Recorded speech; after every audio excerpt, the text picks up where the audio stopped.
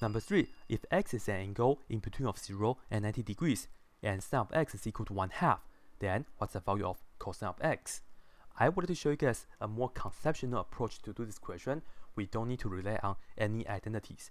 This way it's better in the sense that you will work with any combination of trig functions. You can have tangent x is equal to 1 half and then trying to solve for secant x and things like that. Anyways, let's take a look. First, we have to look at this information. x is in between of 0 and 90. That will tell us we are just focusing on the first quadrant. Because when you draw the x and y axis, this is the 0 degree and this right here is the 90 degrees, right? And then our strategy is we are going to come up with a right triangle in the first quadrant. And then that way we can do the sine, cosine, tangent, this kind of business.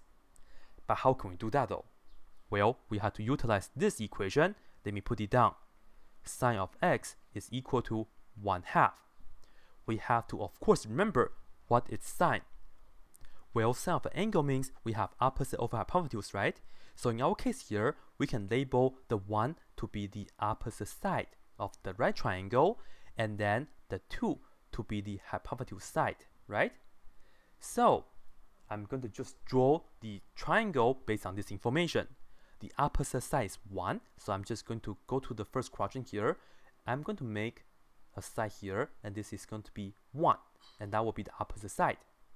For the hypotenuse, this is going to be from the origin to here, and this is 2.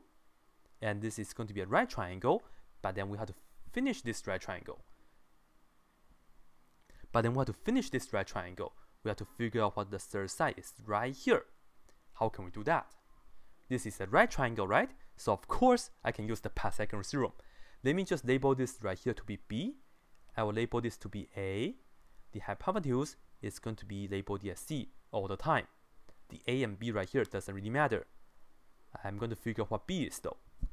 So we know that Pythagorean theorem told us that a squared plus b squared is equal to c squared. a is 1, so I can just plug in 1 squared plus b I don't know yet, so I put down b squared.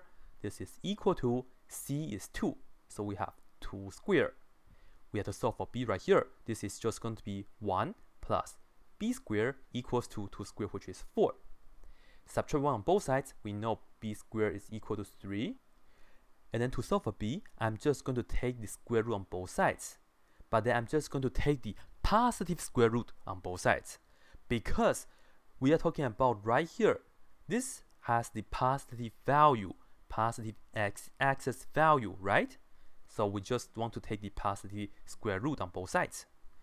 Anyways, square square root cancels and we will have b equals to positive square root of 3. So I can put it down right here now. So we have this right triangle to be looking at, right? At the end, let's look at what's cosine of x. Well, we have to remember what's the definition of cosine. Cosine is adjacent over hypotenuse. And we're talking about cosine of x. x is the angle. And just like this right here, sine of x. The angle is right here. That's the angle x here. So, based on this picture, cosine x is going to be the adjacent side, which is the square root of 3. This is the adjacent side right here.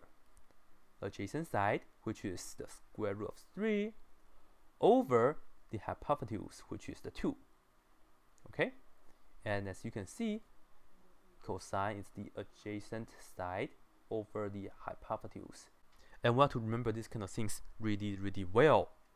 At the end, you see that we got our answer. Cosine x is equal to square root of 3 over 2. And that is choice B. As usual, That's it.